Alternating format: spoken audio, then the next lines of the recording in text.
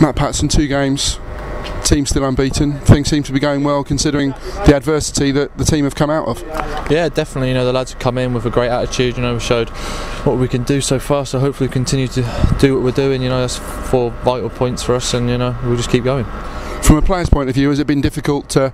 Clearly, last week I think Aldershot signed 11 players. It must be difficult sometimes, at, at times, just to know everybody who's in the dressing room. I wouldn't say it's been difficult. It's, you know, it's been strange, but um, we've come in. You know, we've got a lot of good players, a lot of experience, and uh, to be fair, I've known a couple of lads from before, known of them. You've played against these boys before, you know what they can do. So, you know, the Gaffer's built a great team here. There's a great, you know, team spirit in the dressing room. We're, we're all fighting for each other, and we, I think the fans can see that.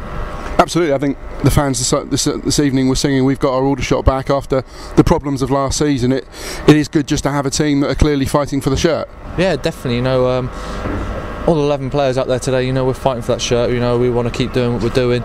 We want to win games, and you know, we we don't want to be in the situation either. We want to be, you know, getting up that league and getting promoted.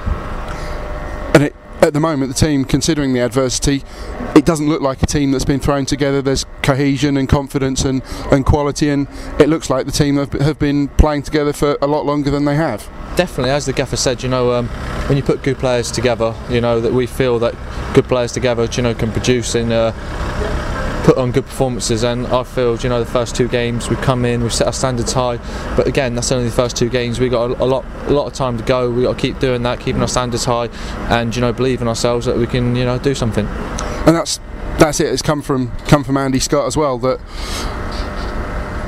it's a good start but there's still a lot more to come from this team the players believe that as well yeah, definitely. Even in tonight's fixture, you know, we won 3 0, but, you know, there's a lot more still to come from us. You know, there's a few basics we still need to work on, but again, as you said, we, we all come together last week, and, you know, for them first two games, I think we've come in and we've done really well. Absolutely, yeah. It's, you've trialled at Aldershot last season, you played against Aldershot for Burton last season. You, what was your perspective on the club when you came in? Yeah, definitely. You know, um, Aldershot. You know, I've spoken to Aldershot many times in my career. You know, as I've grown up when I was at Southampton. I know. Um, and Aldershot come up to me this summer and uh, spoke to a couple of friends. Ollie Lancashire, you know, he's, he put in good words about the club, and uh, you know, it's a club that I've always liked to, you know, be around. You know, a nice family club, and uh, you know, it's disappointing to see where they are. But you know, I want to be a part of, you know, putting that club where they deserve to be. You had no reservations about coming here. No, definitely not. You know, I was, I was, really looking forward to, you know, it's a fresh start for me as well. Do you know what I mean? Um, I want to come here, I want to play games, I want to score goals, I want to show people what I can do. And you did well for Burton last season in the team that got to the playoffs. I think you had options elsewhere. What what made you choose Aldershot? Yeah, do you know, um, I did well at Burton last year, but, you know, again, it's a new season for me, and, uh, you know, Aldershot it's not too far from home, and I'm, I'm looking forward, to, you know, just having my parents come to my games every weekend, and you know, just going from there.